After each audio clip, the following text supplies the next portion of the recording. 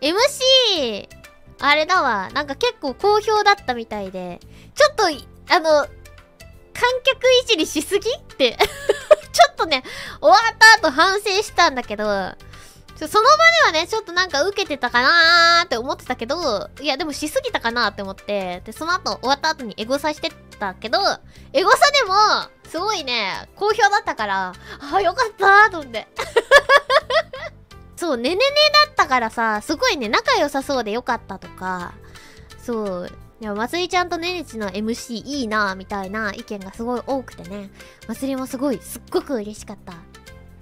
やっぱ楽しいね、MC って。うん、みんなとこう、何？オフでお話しするじゃないけど、そういう機会って少ないからさ、やっぱこう、イエーイってできるの、すごい祭り好きだ。やっぱ、ライブとか、MC とか、こう、大好きなんだな、祭りはって改めも、改めて思いましたね。うん。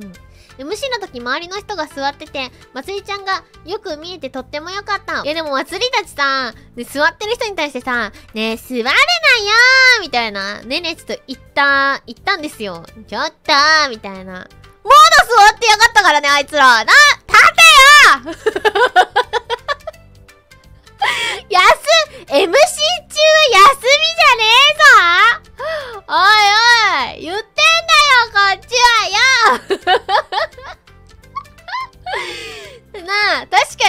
やでもね、わかるよ。あの、3時間立ちっぱはきつい。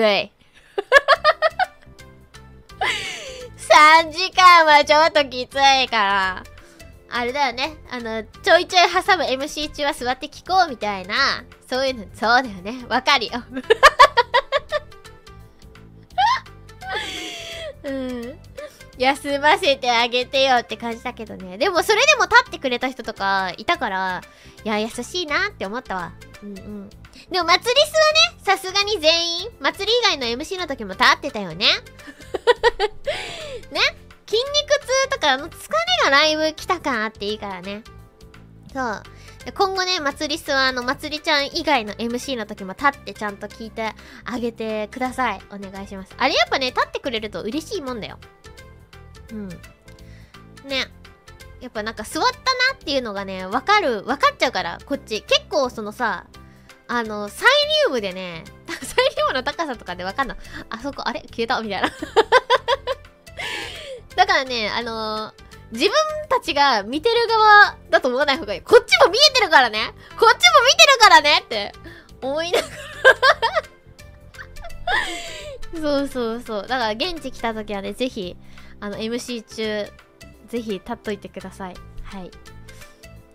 逆に MC 中、アピールタイムだからね。推しがいた時は特に、サイリウム、ブンブンブンって振ってあげたりとかすると、ね、わかりやすいから、まあ、周りのご迷惑にならない程度に全力で振ってあげてください。うん。